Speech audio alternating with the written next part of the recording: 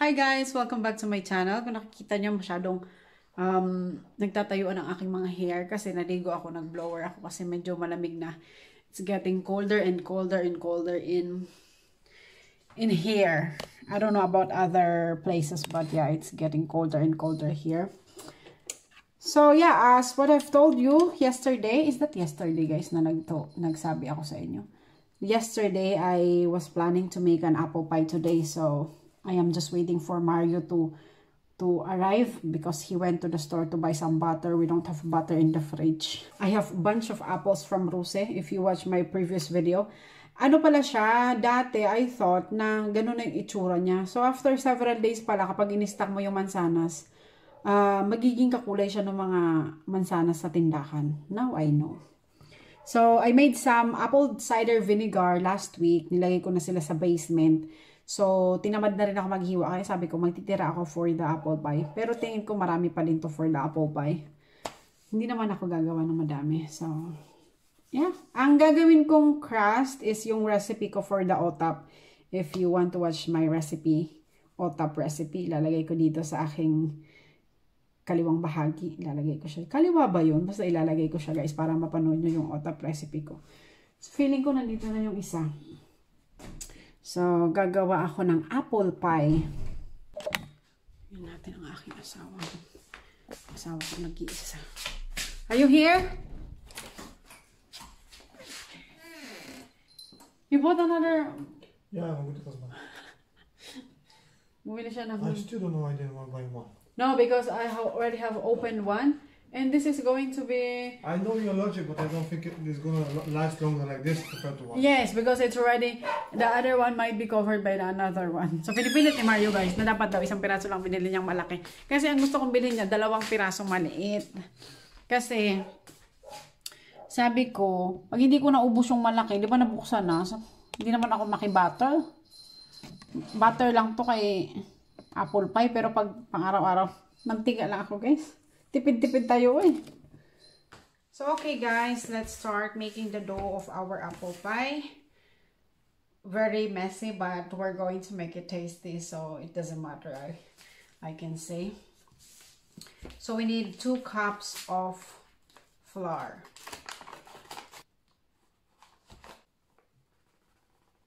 Okay. And then we're going to cut our butter into cubes to add in the flour. This is 125 grams of butter. So let's add the butter in our flour. Okay, ra. Okay, now let's mix the butter into the flour. Of course, make sure that your hands are clean. Now, let's add a bit of salt. Half teaspoon. And then, ice cold water. Ice cold water should be 100 to 200, 150 to 200 ml. already put that water into the fridge a while ago. So let's be careful in pouring the cold water because we don't want our dough to be super wet.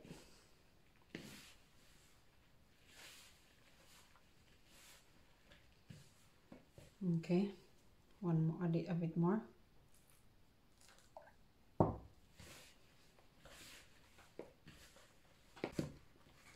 Okay, take it out.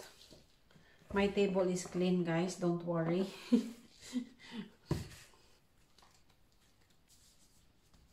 so we're going to put this into the fridge.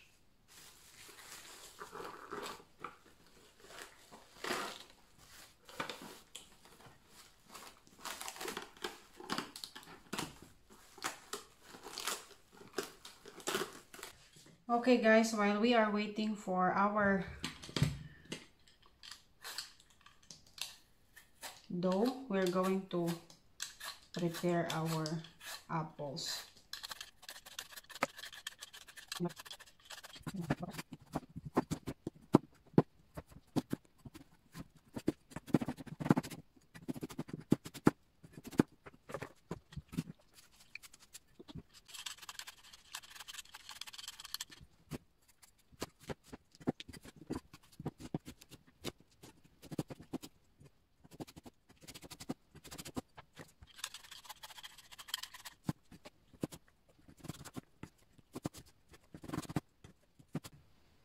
All right.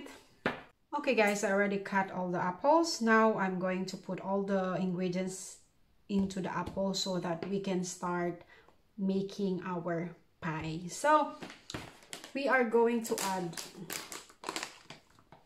two tablespoon of our dark brown sugar. Let's add a little bit. Let's make it three.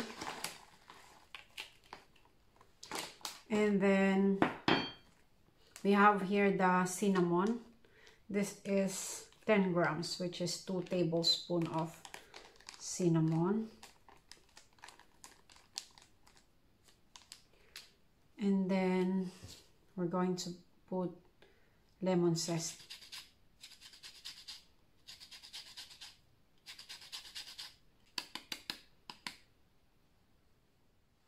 Okay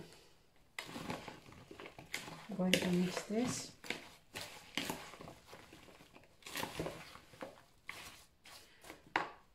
Okay, we're going to heat our pan to cook our apples.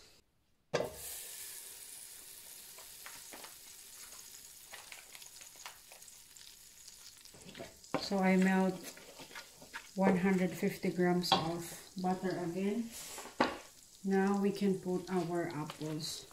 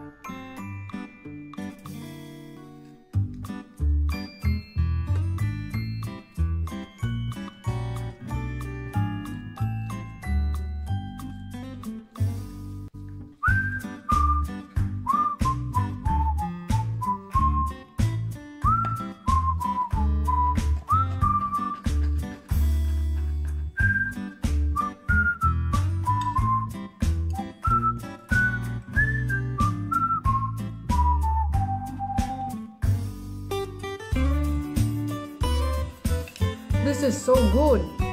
Like I'm not kidding guys. It's the crust is the crust looks hard but it's perfect for the for the pie because you know the apple is very soft.